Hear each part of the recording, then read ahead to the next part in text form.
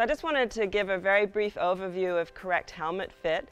And uh, that's important not only for safety but also for comfort. And um, first of all, the helmet should fit nicely and snugly on your head without it being too tight.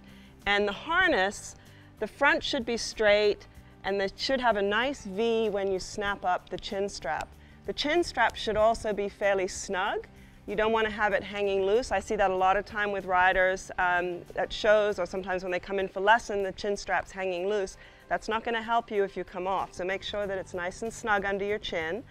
Uh, the other thing is when you move the brim, it should move your eyebrows slightly. To, that indicates that it's a nice good fit on your head.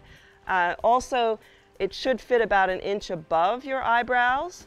So those things you want to consider. Uh, also that it just, it just feels snug and nice on your head. The other thing you want to do, unsnap your helmet, tip your head over and give it a good shake. And it should stay on. You can see this one stays nicely on my head. It's comfortable, it's not too tight, and uh, it stays there. So I know if I, if I do come off my horse, I'm going to be well protected with my 1K helmet.